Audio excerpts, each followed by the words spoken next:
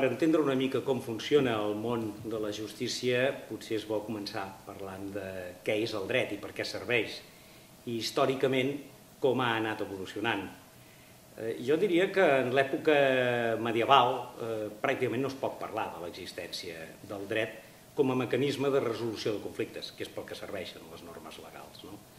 I no es pot parlar perquè estava molt restringit, sobretot per un problema de manca de cultura de la gent, la gent era majoritàriament analfabeta, no? estava restringit eh, l'aplicació a determinades capes socials, sobretot la noblesa o el clergat eclesiàstic. A més a més, s'administrava en llatí, que no era una llengua que conegués eh, el poble, normalment, i per tant tenia uns efectes molt limitats, bàsicament circunscrit a temes de propietats, de limitació de, finques, de territoris, no? els comtats, els tocats, etc. I per tant eh, no podem parlar del dret eh, ni, ni a l'època romana, que també a l'època grega, no? també, també passava similar a això, fins aproximadament al segle XVIII. I és precisament arrel de la Revolució Francesa i sobretot de la Constitució eh, dels Estats Units de Nord-Amèrica que sí que les normes jurídiques comencen a ser aquell instrument perquè la ciutadania, perquè tothom en general, d'una manera democràtica, pugui reclamar una protecció dels, de les seves eh, competències, de reclamar danys i perjudicis quan se, se li ocasiona algun, algun fet delictiu, per exemple, no? o quan s'ataca alguna de les seves propietats. Eh, és llavors quan es comencen a codificar seriosament totes les relacions socials. També és en aquell moment quan es comencen a diversificar les diferents branques del dret, eh? dret administratiu, dret penal, dret civil i dret laboral, que ara se'n diu dret social. Hi ha hagut sempre també una branca del dret una mica espúria, diria jo, no? la, germana petita, que ha sigut el dret militar. Hi ha hagut sempre còdics militars i, i còdics de justícia, no? però afortunadament aquests van tenir una certa preeminència eh, a l'època en què tots els conflictes es resolien, sobretot entre estats, no? es resolien doncs, amb guerres, afortunadament això cada vegada ha anat minvant més i avui en dia és un dret ja molt residual. No? I ha aparegut en aquest darrer segle un àmbit o un camp del dret que pràcticament no existia, que és el dret internacional, eh, la justícia universal. Avui en dia jo penso que a totes les societats democràtiques, a tots els estats, sobretot de la Unió Europea, les relacions entre els ciutadans, entre si, i els conflictes que aquests ciutadans tenen amb l'administració, sigui una administració local, autonòmica o estatal, inclús en l'àmbit internacional, estan perfectament delimitades i en el fons molt poques lleis o molt poques normes noves s'haurien d'anar dictant. A vegades dictar tantes lleis l'únic que fa és confondre eh, la ciutadania. No? El que caldria, evidentment, és que els operadors jurídics, advocats, jutges, sobretot, i fiscals, anéssim interpretant les lleis ja existents en funció de la realitat, de les novetats, de la realitat social, la mateixa evolució de la societat, però això moltes vegades no fa falta canviar la llei. Amb una interpretació oberta, progressiva, adequada al canvi de les circumstàncies n'hi hauria prou, del meu punt de vista. Una de les estructures bàsiques del funcionament del món jurídic és la divisió de poders. Arrel de Montesquieu, un filòsof francès que va sentar les bases de quines haurien de ser les competències del poder legislatiu, és a dir, els representants del poble que decideixen quines lleis s'han d'aprovar i quines s'han de derogar. Una segona vessant, una segona pota d'aquesta estructura és el poder executiu, és a dir, els governs, que s'han de limitar en principi, doncs fan molt més, però en principi s'haurien de limitar a donar compliment a la llei, és a dir, a executar, per això es diu poder executiu, provar reglaments, decrets, que facin realitat allò que el legislador, en nom dels pobles, en nom dels ciutadans, ha decidit, i el tercer poder és el poder judicial, és a dir, encarregat de dues coses, bàsicament, que a vegades els ciutadans no ho tenen molt clar, això. El poder judicial tenim dues funcions. Una és resoldre tots els conflictes, els casos concrets que tenen els ciutadans. Ciutadà X eh, respecte d'una empresa Z. Però a més a més d'això, la nostra funció també és revisar la legalitat de les decisions que pren el poder executiu, és a dir, controlar el poder executiu, per evitar que s'accedeixin les seves funcions i que envaeixi o malinterpreti les normes que aprova la ciutadania a través de, dels congressos de diputats, a través dels parlaments. No? A la pràctica, però, he de dir que com que depenem, en el fons, els jutges i els fiscals, depenem dels pressupostos que aprova el govern, doncs eh, la divisió entre poder judicial i poder executiu de vegades és molt feble, perquè no ens poden dir què hem de fer, però sí que ens poden limitar molt les competències, la capacitat pressupostària per actuar, els mitjans humans i materials. I això ho fan sobretot amb la finalitat d'evitar que complim correctament una d'aquestes dues funcions. El govern de tots els estats li importa molt poc com resolem un jutge el cas concret específic, llevat que afecti determinades persones del propi estatus eh, polític o financer, no? llavors sí, llavors es preocupen molt. Però clar, això és el 1 per 1.000 dels casos. Els altres 999 tant els hi fa com els jutges resolem un cas concret. En canvi, els preocupa moltíssim que els hi qüestionem que un decret, una ordre ministerial o una actuació administrativa concreta estigui ben feta o mal feta. I per tant, d'aquesta manera, jo diria que controlen la independència del poder judicial en aquest, en aquest aspecte específic, no en l'altre.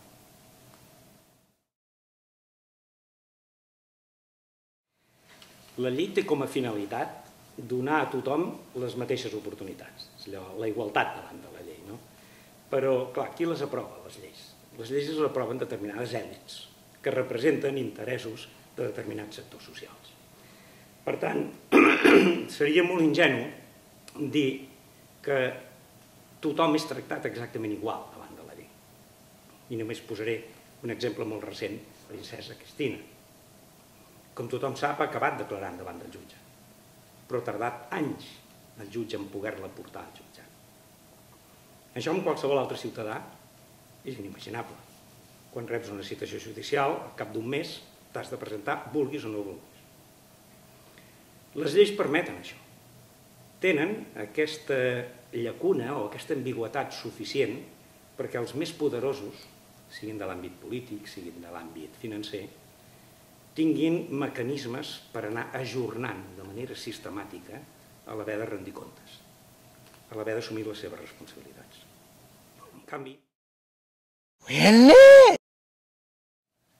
la figura del jutge jo penso que és la clau de volta en tot sistema democràtic, perquè és atorgar al ciutadà la possibilitat d'acudir a una persona experta en lleis, completament independent, imparcial, que analitza els pros i els contres dels dos eh, elements en conflicte i decideix qui d'ells té o tota la raó o només una part de la per tant, és especialment transcendental que la selecció dels jutges sigui per un sistema no només objectiu, garantista, per evitar tràfics d'influències, sinó que a més a més sigui un sistema adient per aconseguir que la persona, sigui home o sigui dona, encarregada d'administrar justícia, tingui una visió molt transversal de la societat, per tant tingui un nivell cultural, coneixements d'història, coneixements d'antropologia, coneixements de criminologia, no només coneixements estrictament jurídics. No? I al mateix temps que sigui una persona que sigui capaç de substraure's a les influències, sobretot dels mitjans de comunicació, o a les pressions concretes que hi poden haver.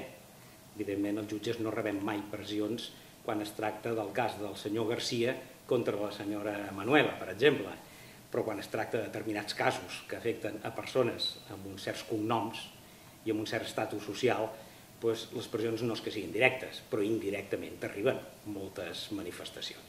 Per tant, ha de ser una persona en aquest sentit doncs, capaç eh, de resistir aquestes pressions. Això com s'aconsegueix? Doncs mireu, està tot inventat. El sistema anglès, el sistema anglosaxó, és perfecte, és ideal. I per tant només hauríem de copiar una mica de com funcionen ells. Precisament per això la justícia a Anglaterra és l'estructura d'estat més prestigiada de totes en canvi, Espanya o altres països mediterranis, eh, com Itàlia, com Grècia, com Portugal, segurament és el poder de l'Estat més desprestigiat de tots. Per què? Perquè tenim un sistema per què? Perquè tenim un sistema de selecció dels nostres jutges radicalment diferent.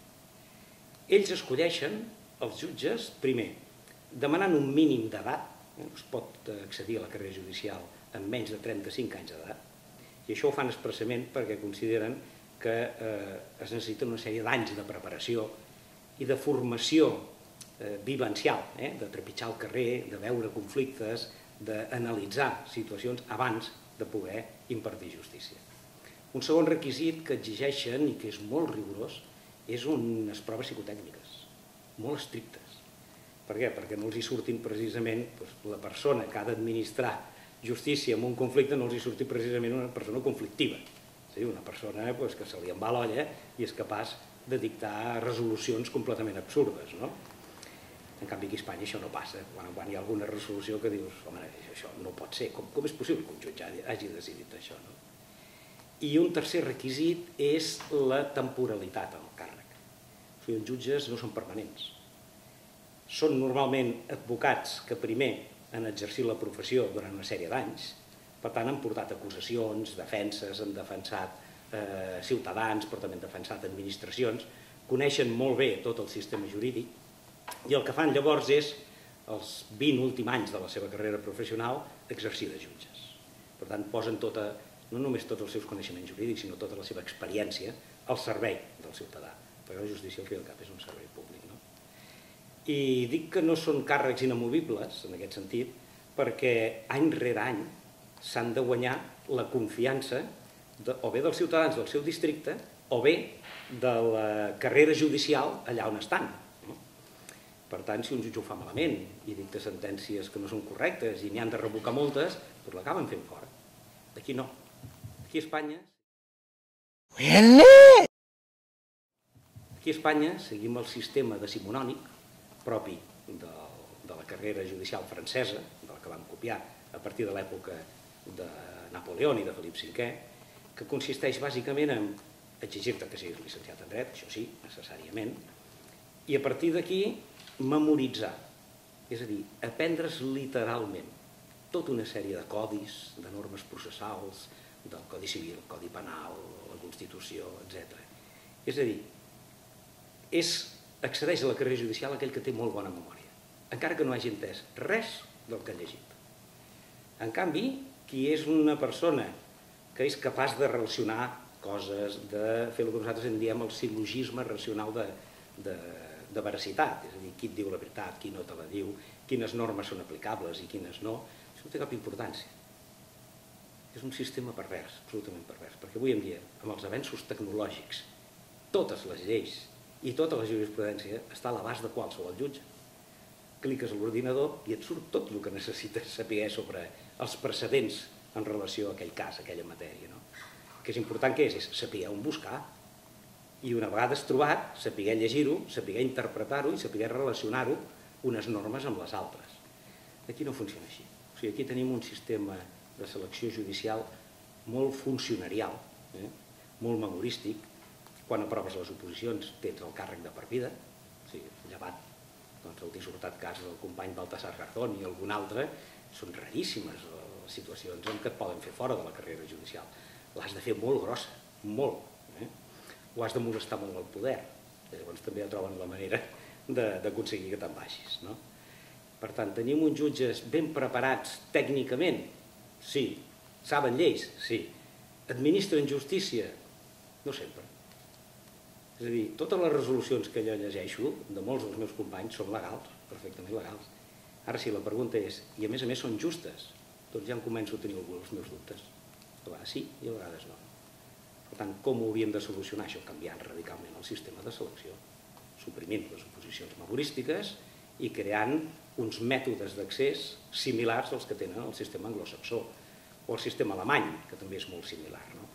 I són països on la justícia té prestigi.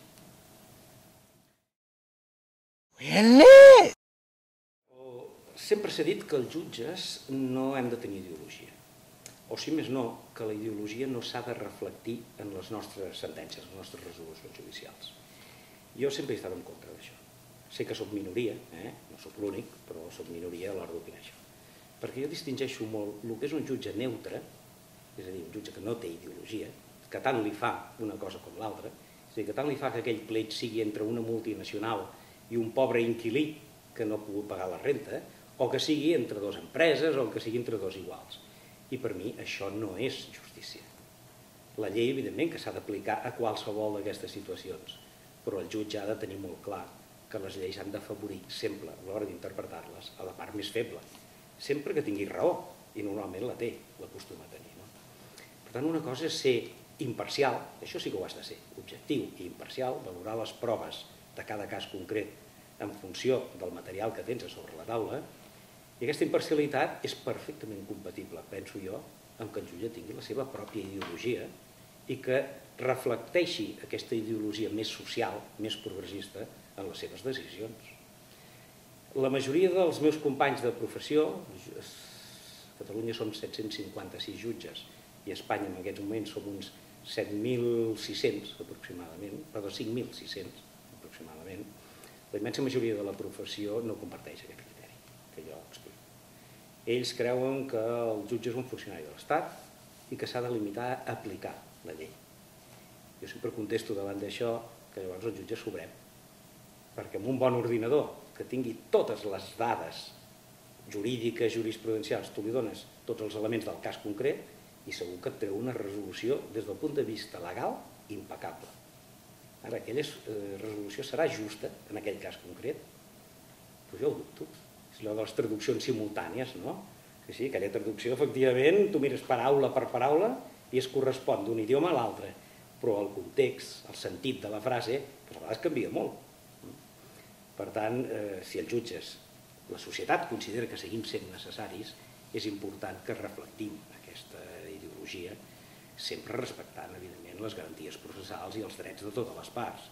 Perquè penso que imparcialitat, independència i tenir una ideologia més o menys progressista o conservadora no estan en absolut renyits. Quina és la conseqüència d'allò que dèiem del sistema de selecció dels jutges memorístic, eh, d'alguna manera classista, no? doncs eh, és que hi ha molts jutges conservadors, perquè poques famílies es poden permetre, encara avui en dia, en què hi ha un accés a la universitat doncs, molt general, no?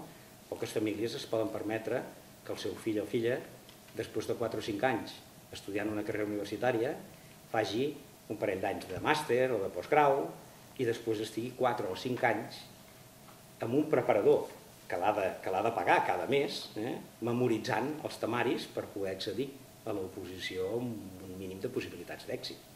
Això significa mantenir el teu fill durant un mínim de 10 anys. I és clar, no només eh, no treballa el fill, perquè treballar i preparar l'oposició tal com està muntada avui en dia és incompatible, és, és impossible. Necessites estar sobre els llibres memoritzant entre 10 i 12 hores diàries. Per tant, no, no, no pots compaginar-ho amb qualsevol altra cosa. Això té un cost econòmic que moltes famílies no poden mantenir. I això explica per què la carrera judicial avui en dia encara és molt endogàmica. Una mica com la casta militar. Quasi tots els jutges que van entrant al sistema judicial, tots tenen o el seu pare, o el seu oncle, o un conegut, que és això, el jutge, el fiscal, el notari, és a dir, molt tancats en si mateix. I a més a més es dona una última circumstància que és que, com que es passen tants anys preparant-se per això, a més a més es coneixen entre ells, nois i noies, o nois entre nois, o nois entre noies, eh? I a més es casen entre ells, amb la qual cosa encara és més, es fa més endogàmica. Perquè tant el marit com la muller, o la parella en general, eh? doncs tots dos pertanyen a la carrera judicial.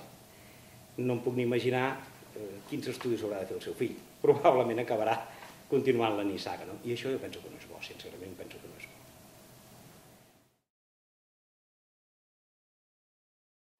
Hi ha una diferència molt clara, que a vegades els ciutadans no, no la tenen prou, prou ben reixida, entre el fiscal i el jutge.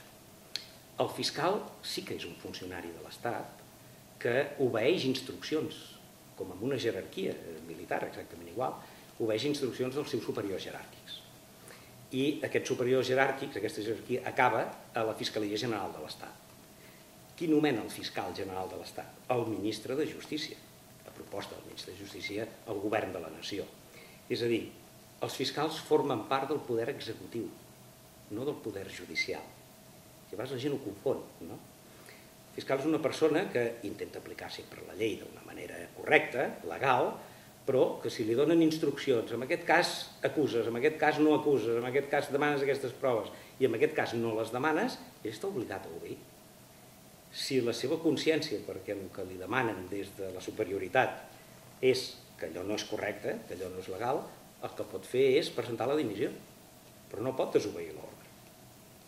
Si la desobeís, li passaria, li obrir un expedient disciplinari i el traslladaria, amb la qual cosa continu, ja no tornaria a portar aquell mateix cas. Eh?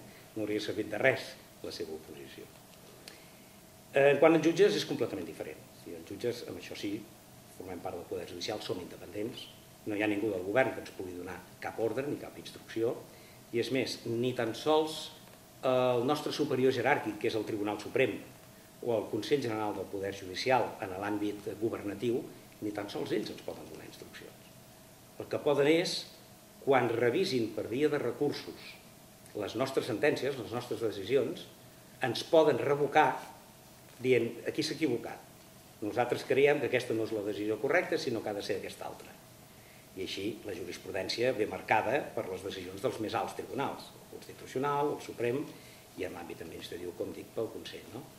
Però no hi ha cap jutge del Suprem o cap vocal del Consell General del Poder Judicial que pugui trucar a un jutge i dir-li escolta'm, amb aquest assumpte en concret l'has de resoldre d'aquesta manera.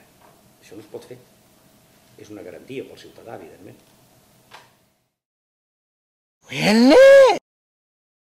Hi ha poques coses amb els que la immensa majoria dels membres de la judicatura estiguem d'acord. Eh? Poques. Però la necessitat de derogar la llei d'indult és una d'elles. El 90%, m'atreviria a dir jo, de la carrera judicial considera que és una llei no només preconstitucional, que ho és, perquè està l'any 1870, el derecho de gracia e indulto, sinó, a més a més de ser preconstitucional, és una llei manifestament arbitrària, perquè atorga al poder executiu, al govern de la nació, en concret al Consell de Ministres, la facultat d'indultar a aquelles persones que un tribunal de justícia, després de tot un procés, amb totes les garanties, amb el dret de defensa, eh, amb la via de recursos, eh, el Tribunal Suprem, un procés que ha acabat amb una condemna, el Consell de Ministres pot, amb un decret, de tres línies, pot dir, reunido el Consejo de Ministros en la sessió del viernes, perquè sempre reuneixen el divendres, de fecha tal, ha considerado oportuno i l'únic que canvien és conceder o denegar el indulto al senyor tal. Punt. Això és un indult.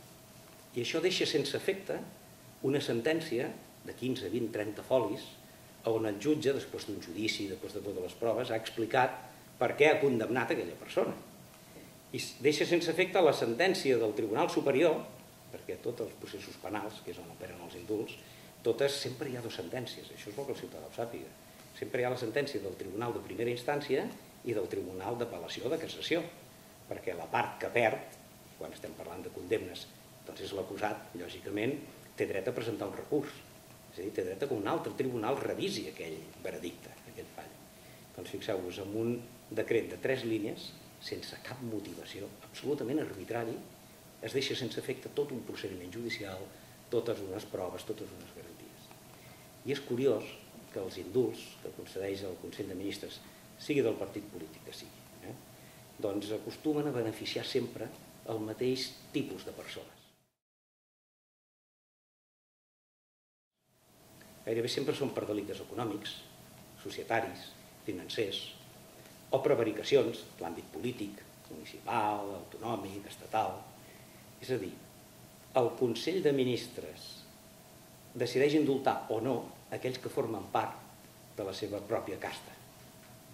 Més injust que això, o més arbitrari que això, no hi ha res. Hi ha altres països democràtics eh, que també el tenen, la institució de l'indult. Però aquests altres països, per exemple, Alemanya existeix, eh? però el govern concedeix al cap de l'any 10, 15 indults i sempre ho fa per raons humanitàries. Per exemple, aquell cas d'aquella persona que eh, ha delinquit doncs, amb 80 anys d'edat i té un estat de salut molt deficitari. Llavors, el govern a vegades concedeix aquest indult perquè aquella persona considera que no és necessari que compleixi la pena de presó. No? O aquella persona que comès un delicte, robatori amb violència i intimidació, com a conseqüència de problemes de drogues. I quan ha d'entrar a presó per complir la condemna, ja està rehabilitat, ha fet programes de deshabituació, etc. En canvi aquí es concedeixen els indults sense motivar res i es concedeixen per centenars. Tant quan governava el Partit Socialista Obrer Espanyol com ara que governa el Partit Popular, són aproximadament mig miler d'indults cada any els que es donen. No? I una de les coses que a més a més els jutges ens preocupa molt és que aquests indults no motivats, insisteixo, també es donen amb una certa freqüència als membres de les forces i coses de seguretat aquells que els tribunals, quan s'han accedit amb les seves atribucions i han ocasionat unes lesions importants no justificades, doncs els han hagut de condemnar sistemàticament abans la Guàrdia Civil, després la Policia Nacional i ara les policies autonòmiques sistemàticament se'ls concedeix l'indult. Amb la qual cosa no s'aconsegueix l'efecte que tots buscaríem, que és que els altres membres del cos veiessin que allò no es pot fer, que allò té conseqüències i per tant un efecte dissuasori, no? una prevenció general. Tothom diu, bueno, si m'enganxen, pues, eh, acabaré indultat, per tant, home, no, això no vol dir que ho hagin de fer expressament, però sí que hi ha una certa patent d'impunitat que els encarregats d'administrar justícia no podem tolerar, no podem admetre.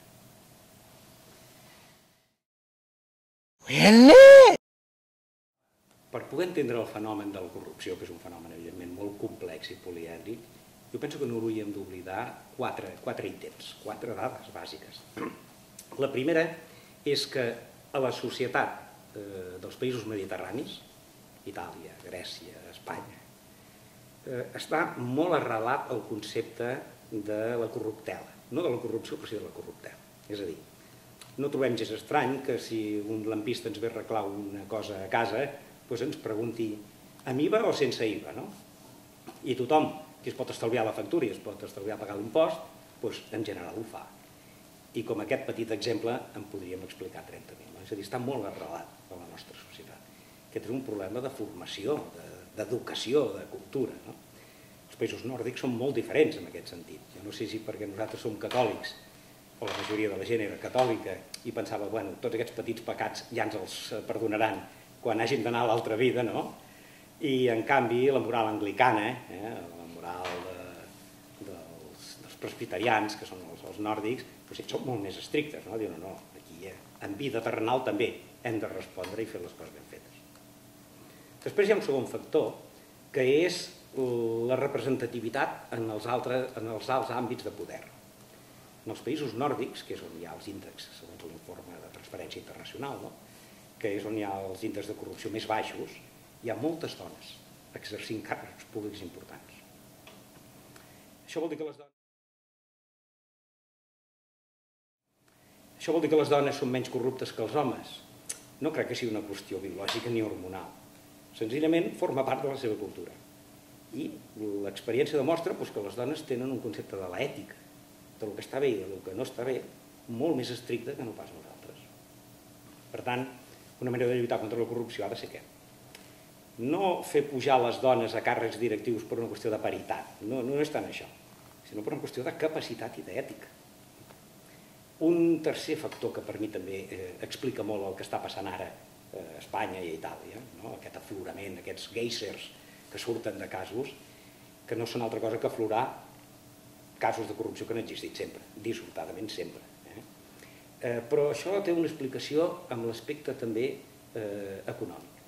Els càrrecs públics en els països mediterranis han estat sistemàticament mal pagats jo quan em diuen que un diputat cobra massa, els dic tot el contrari. Jo penso que cobra poc. O un alcalde o un regidor, penso que cobren poc. Perquè si volem que facin la seva feina en plena dedicació i que la facin bé i sobretot sense posar la mà a la caixa, és important que estiguin ben pagats, que se sentin ben retribuïts. En canvi aquí sempre s'ha acceptat, bueno, el sou és petit, és curt, però van sortint moltes oportunitats, eh, d'aquests contactes, aquella agenda de clients que després, quan no tinguis el càrrec, doncs ja utilitzaràs el de les portes eh, d'intercomunicació, que es diu, no? passen de l'empresa pública eh, a la privada amb una facilitat enorme, els consells d'administració, i si mentre estan en el càrrec públic, doncs, a més a més, poden eh, replegar alguna cosa, eh, des d'un punt de vista completament il·legal, evidentment, doncs dissortadament aquí es fa. En canvi, als altres països això no succeeix, de cap dels maneres, perquè estan, no només tenen prestigi, sinó que a més a més estan ben pagats. I després hi ha un últim factor, que és, com a vegades oblidem, que no hi haurien corruptes si no hi haguessin corruptors. Per tant, no els donem tota la culpa a ells, eh? efectivament són els que paren la mà, sinó que també assumim empresaris, constructors, eh, gent que té interès en una llicència urbanística, etc, que, home, si ells agafen alguna cosa perquè algú els hi dona. Per tant, també fem una mica d'autocrítica, no?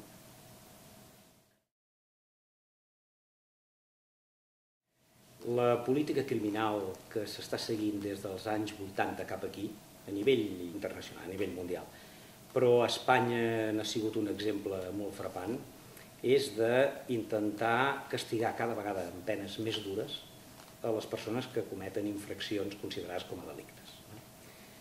Això ha provocat que, a diferència també una mica dels països nòrdics, que és on ens hauríem d'emmirallar, que Espanya tingui una ràtio de 146 persones tancades a presó per cada 100.000 habitants.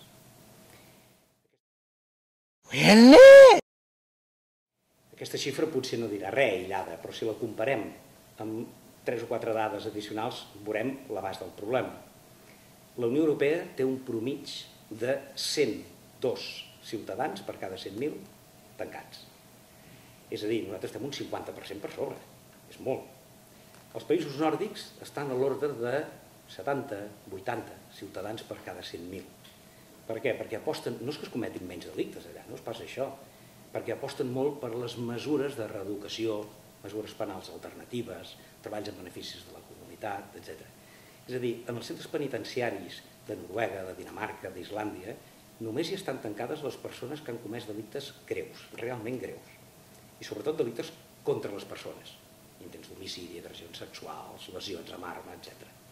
Tota la resta de gent que infringeix les normes de convivència es procura recuperar-la per la societat a través de dos mecanismes. Un, no desocialitzar-los, és a dir, no tancar-los aïlladament durant X anys, perquè després el retorn a la vida en societat i en règim de llibertat és molt més difícil, i probablement mentre han estat allà dins han après algunes coses que abans no sabien, i no precisament en benefici de la pròpia societat.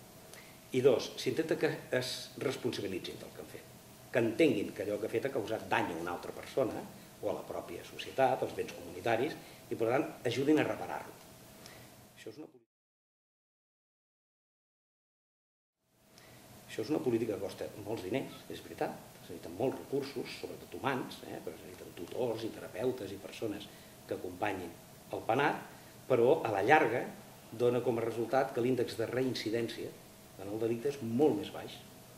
Aquí a Espanya seguim el camí, Espanya, França, Itàlia, seguim el, el camí totalment contrari. I els països bàltics també, eh? Rússia, Estònia, Letònia, segueixen una política d'enduriment progressiu de les penes. I ella, per exemple, un robatori amb força, que fa 10 o 15 anys estava castigat amb una pena d'un any de presó, doncs ara la pena pot anar a 2, 3, 4 anys de presó. I això fa que tinguem molta gent, molta, tancada. Els Estats Units segueix la mateixa política, la política de tolerància zero, eh, que ells han extès una mica arreu del món. Els Estats Units tenen un índex de 746 ciutadans presos per cada 100.000 habitants. És a dir, una barbaritat, una barbaritat. I tenen penes duríssimes, com la cadena perpètua, la pena de mort. I en canvi això demostra que no, són, no tenen efectes dissuasoris allà la gent continua delinquint exactament igual, malgrat aquestes penes tan elevades. No? Per tant, això hauríem de canviar. Hauríem de canviar tot el sistema penitenciari i gastar més diners en prevenció i en rehabilitació que no pan tants recursos en purament custòdia, que és el que actualment es fa en els 11 centres penitenciaris de Catalunya o en els aproximadament 60 que hi ha a tot l'estat espanyol.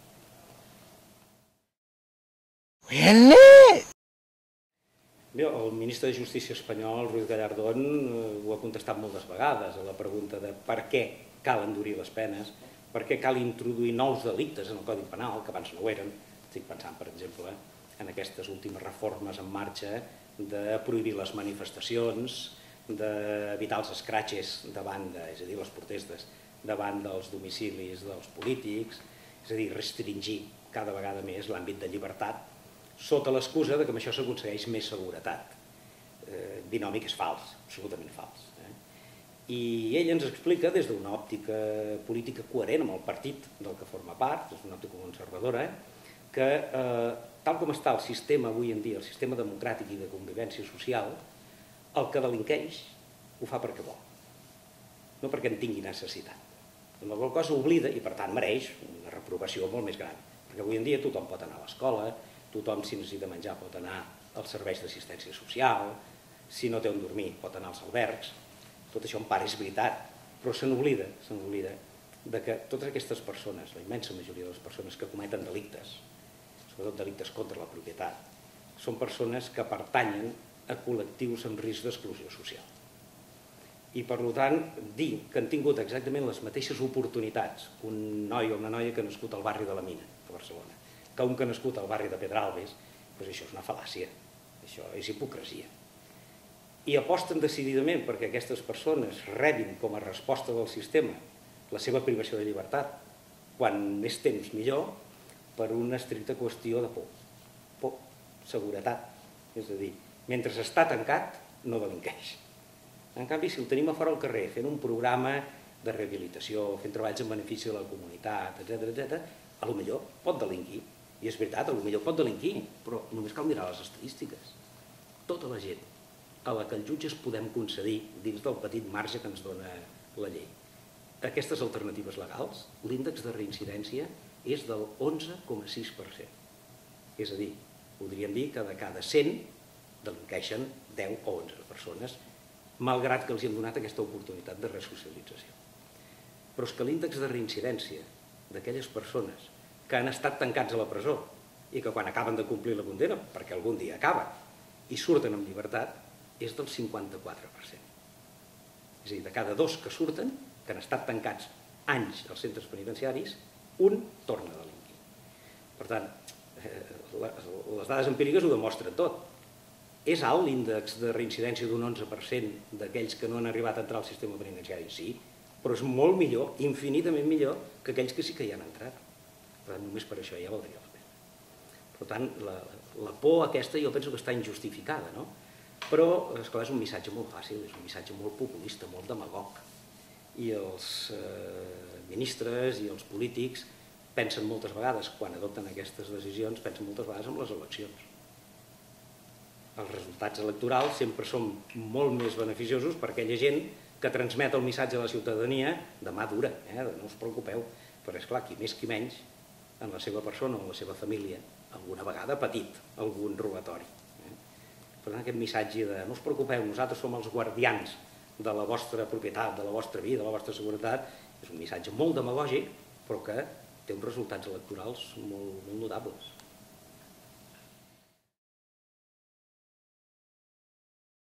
És cert que la gran majoria de persones que acaben sent condemnades, jutjades i condemnades, i tancades en un centre penitenciari per haver comès un, un delicte, pertanyen a capes baixes de la societat, a capes socials que no han tingut les mateixes oportunitats de formar-se, d'educar-se, malgrat que han anat a l'escola, és veritat, però és que no n'hi ha prou anar a l'escola. Això hem de ser tots una mica conscients. Si tu quan surts de l'escola, a casa, tens un entorn familiar que no ajuda gens a que tu et posis a estudiar, que tu facis els deures, a que tu eh, intervinguis en la, en la dinàmica educativa. No? Veuen exemples en els seus propis entorns familiars que no són precisament exemplaritzants, podríem dir. No?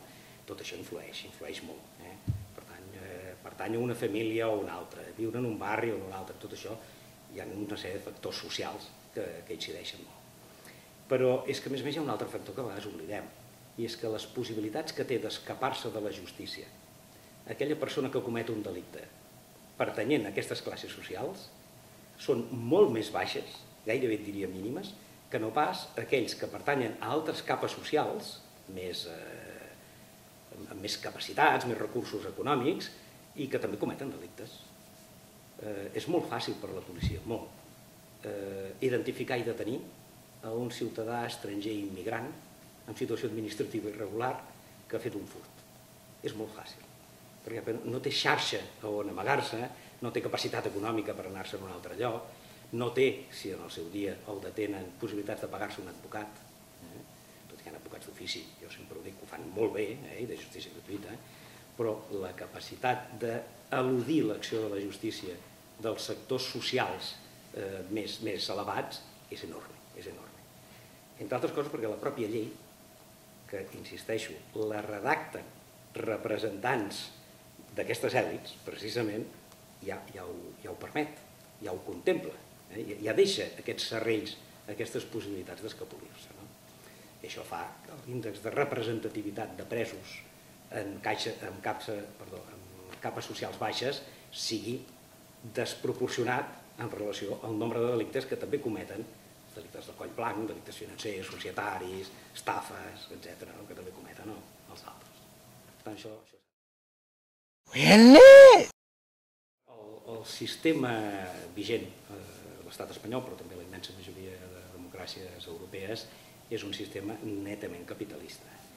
I el capitalisme, que no només perquè regeix la llei del mercat ha de ser dolent, però quan es converteix en capitalisme especulatiu, que és el que ha sigut en aquests últims anys doncs, a molts països, i per això ha vingut el crac econòmic i les bombolles immobiliàries, etc., necessita sempre tenir una petita parcel·la de la població a qui donar totes les culpes de tot el que passa. Per tant, el mateix sistema genera, a través sobretot dels missatges que transmet a l'opinió pública, genera un sentiment de rebuig respecte d'aquells que eh, infringeixen la llei, bé sigui per via penal o inclús per via administrativa. No? Això ho notem molt, per exemple, amb les reaccions racistes. Diu, oh, és que venen els immigrants eh, irregulars i ens prenen els llocs de treball. Bueno, però això és fals, tothom sap que és fals. El que sí que agafen aquests immigrants irregulars és unes feines que no vol fer ningú d'aquí, i amb unes condicions eh, econòmiques o inclús eh, laborals absolutament indignes, no? l'explotació. Per tant, el propi sistema capitalista genera una actitud de rebuig en tota la societat respecte d'aquests col·lectius. Això com ho podríem solucionar? Jo penso sincerament que això només se soluciona amb cultura.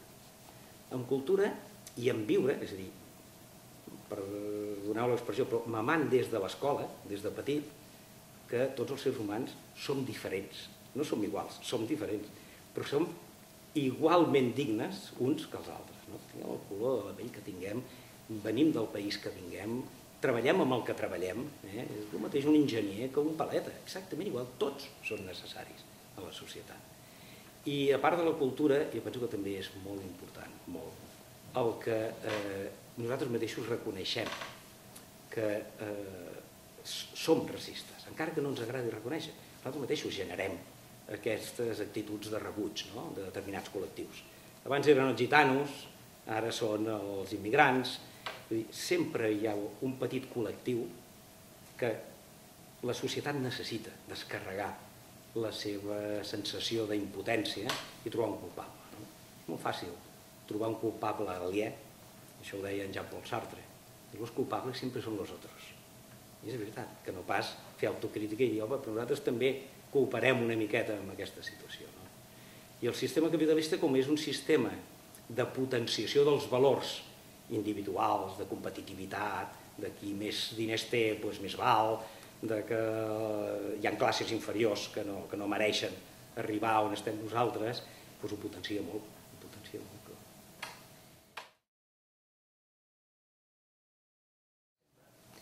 La justícia, inclús en la seva pròpia escenografia, eh, una sala de vistes, reflecteix clarament aquesta divisió classista de la societat. I si no, l'espectador que s'hi fixi. A on seu el jutge? I on seuen els abogats? A dalt, estrades. A dos pams més amunt, més elevats, que on seu el ciutadà normal, el públic. A on seu l'acusat? En un banc. I no en un silló, com nosaltres. En un banc de fusta. Que ara, des de fa pocs anys, tenen respatller, però abans ni tan sols tenien respatller. És a dir, en una situació absolutament estigmatitzant. No? Malgrat que quan una persona acudeix davant d'un tribunal per ser jutjada, és presumptament innocent. Per tant, és un ciutadà com tots els altres, amb tots els seus drets. Doncs fixeu-vos que l'escenografia ja és així. Eh? Ens vestim de negre, utilitzem una terminologia que probablement el ciutadà normal no entén. Per tant, això es reflecteix a la justícia. Alguns jutges, pocs, fa ja uns anys vam demanar una reforma legal que fes que els ciutadans, en l'àmbit sobretot de la justícia penal, els ciutadans fossin jutjats amb una escenografia idèntica a la que tenen els tribunals nord-americans. Recordareu que les pel·lícules o les sèries de televisió es veu que els ciutadans estan acostats, estan acostats del seu abogat i parlen amb ell, en règim d'igualtat, i uns s'aixequen, i, eh, i a la mateixa alçada que el jurat, per exemple. Per tant, això es podria fer perfectament aquí. És a dir, que l'acusat, en comptes d'estar al banc dels acusats, estigués també aquí dalt, a Estrades, al costat del seu abogat, pogués comentar amb ell les proves que es van desenvolupant. Doncs hi ha hagut una reacció totalment en contra no només del poder legislatiu, que és el que ha de legislar aquests canvis, no? sinó de la pròpia carrera judicial.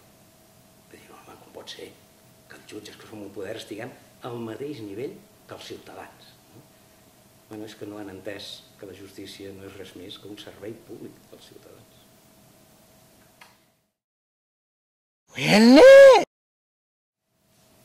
Històricament, eh, l'estat espanyol eh, no ha acceptat que la península ibèrica està formada per un seguit de territoris, alguns dels quals són senzillament això, espais físics, territoris, geogràfics, però en canvi n'hi ha altres que són veritables nacions.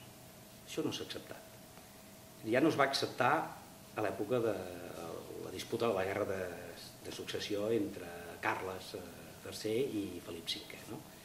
Però és que Castella, que va ser la que va guanyar aquella disputa, tot s'ha de dir, amb l'ajut eh, o amb la negligència de les potències eh, internacionals, Anglaterra, França, França va ajudar directament no, als borbònics, però Anglaterra se'n va desentendre no, de, de la guerra de successió i de l'inicial recolzament amb els catalans. Això ha provocat que eh, des de l'any 1978, és a dir, prescindeixo ja de l'època franquista, no, perquè allò era una dictadura igual per tothom, dissortadament, però des de l'any 78 en comptes d'avançar cap a una recuperació del que havia sigut històricament la península ibèrica, que en el fons era una confederació d'estats, la corona d'Aragó i Catalunya, Portugal, eh, el país eh, basc, basco-navarro... En comptes de recuperar això, que realment és el que jo penso que en el futur acabarà sent eh, l'estat de la península ibèrica, jo confio que acabi sent una república federal ibèrica, eh, doncs en comptes d'això el que s'ha anat és a intentar trobar una solució que no, eh, no ha agradat a ningú. Per una banda, en el País Basc, per solucionar el problema de la lluita armada per la seva independència, doncs han apostat únicament exclusivament per la línia dura d'exigir l'estricte compliment de la llei, no acostar els presos de, de la banda terrorista ETA al seu territori d'origen, malgrat que la llei penitenciària això ho permet perfectament, sinó fer aquest càstig addicional que és la disgregació i eh, no negociar, en el fons no negociar seriosament un procés de pacificació. I per tant això està donant els resultats que està donant ara, és a dir, és veritat que el grup armat d'ETA en aquests moments està aturat, no, no, no té cap activitat eh, terrorista, afortunadament per tots, no? Però no s'està avançant d'una manera significativa cap a la dissolució d'aquest grup cap a la reinserció de totes aquestes persones, d'aquest col·lectiu de, de, de més de mil eh, presos que hi ha en aquests moments encara complint condemna no? en la societat. És a dir, no s'està avançant en la normalització del que ha de ser la vida convivencial en el País Basc. No? I en quant a... Jo penso que és un error, sincerament, penso que és un error. És a dir, no es tracta de fer indults, ni de fer amnisties, ni de perdonar indiscriminadament a la gent però sí que es tracta, com van fer en el seu dia a Irlanda, no? o com van fer en el seu dia a Sud-àfrica, d'obrir camins que permetin arribar a un resultat satisfactori per tothom en aquest procés de pau. Assumint cadascú, cadascú perquè aquí s'ha de repartir responsabilitats a totes dues bandes, cadascú les culpes que tenen amb el desastre que ha sigut, que durant 30 o 40 anys el País Basc hi hagués pues, moltes víctimes, la majoria innocents.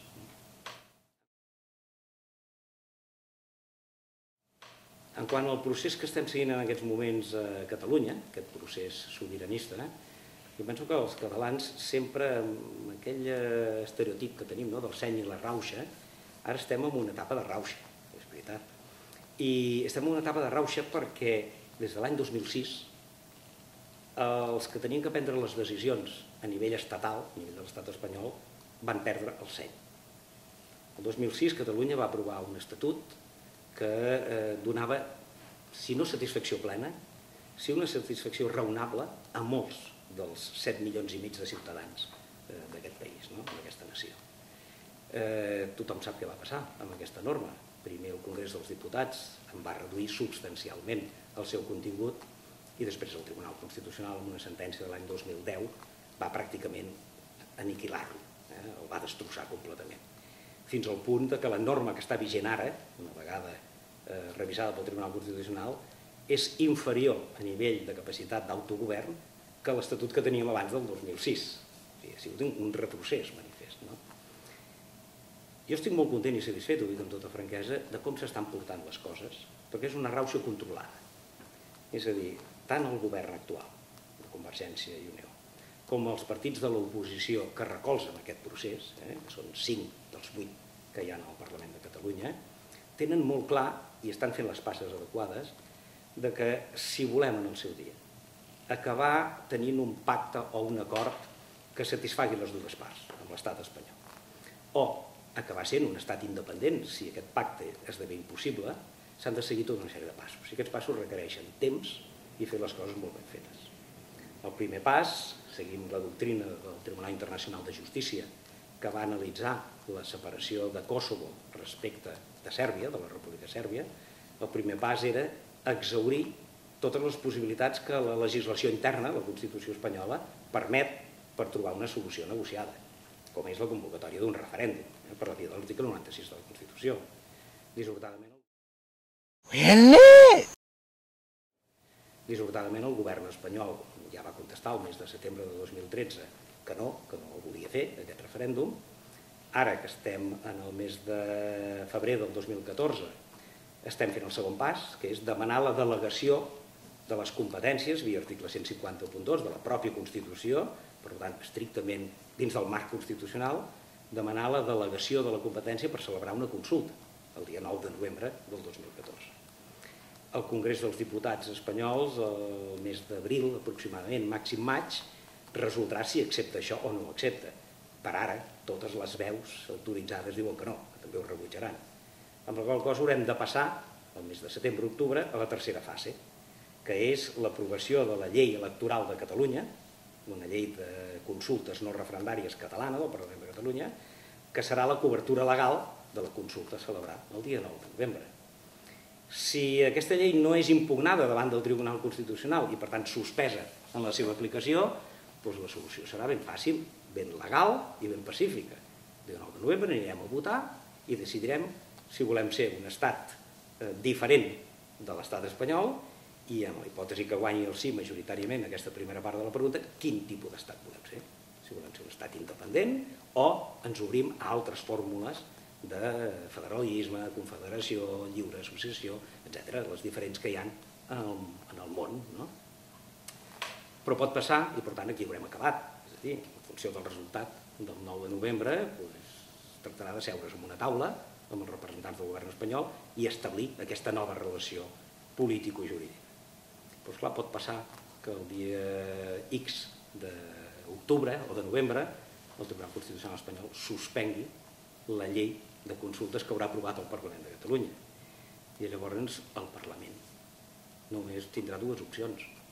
O celebra la consulta malgrat l'oposició del govern espanyol o convoca unes eleccions de caire plebiscitari on pràcticament es vindrà a resoldre exactament el mateix i he de recordar que les eleccions no es poden suspendre. Aquí sí que no hi ha possibilitat legal per part del Tribunal Constitucional de suspendre-les. Per tant, ens trobem davant d'un camí complicat, eh? però jo penso que també enormement interessant i engrescador. No passa cada, cada dia que els ciutadans d'un territori, en aquest cas 7 milions i mig de catalans, puguin decidir el seu futur com a poble, no? si serà la transició que vam començar l'any 1977-78 efectivament ha generat que l'estat espanyol avui en dia sigui molt diferent del de l'època de la dictadura. Eh? Això és innegable. Però seguim sense tenir una democràcia plena. Un dels dèficits més grans que estem arrossegant des de llavors és que no hi va haver una veritable depuració de responsabilitats, per exemple, en l'àmbit dels tribunals. Molts dels jutges que ara estan al Tribunal Suprem, o inclús al Tribunal Constitucional, ja eren jutges a l'època franquista. Eren jutges que havien estat als Consells de Guerra Sumaríssim, al Tribunal d'Ordre Públic. Clar, sempre es podrà dir, bé, però s'han readaptat. eh? han evolucionat.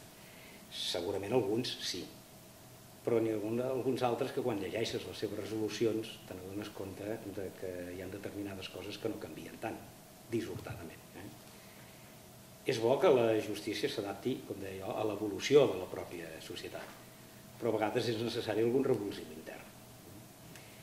Avui en dia, per desgràcia, jo penso que moltes de les eh, normes que s'estan dictant en el Congrés dels Diputats estan tenint un efecte regressiu, sobretot en els últims 10 anys, respecte del que s'havia pogut anar evolucionant entre l'any 1980 i l'any 2000-2005, i per tant estem tornant a molts dels valors tant ideològics, morals, sobretot, eh, que havien imparat eh, pues, en l'època preconstitucional. No? I això penso que és molt dolent. Això és molt dolent. Per tant, si volem que la justícia acabi recuperant el prestigi davant de la ciutadania i acabi responent a valors veritablement democràtics, el que s'ha de fer és trencar aquest, no només el sistema de selecció, sinó trencar també aquesta involució de caire jurídic i crear un nou poder judicial que efectivament sigui un poder que al mateix temps sigui servei públic, per tant, que contacti molt amb la ciutadania. Jo sempre aposto per la justícia de proximitat. Eh? I espero que si ara Catalunya fa una segona transició eh, o un procés eh, de configuració d'un estat completament nou, això s'aconsegueixi, s'aconsegueixi introduint nous valors morals, ètics, eh, per lluitar contra la corrupció, per exemple, però sobretot també evitant una involució que últimament, en aquests últims 10-15 anys, estem patint.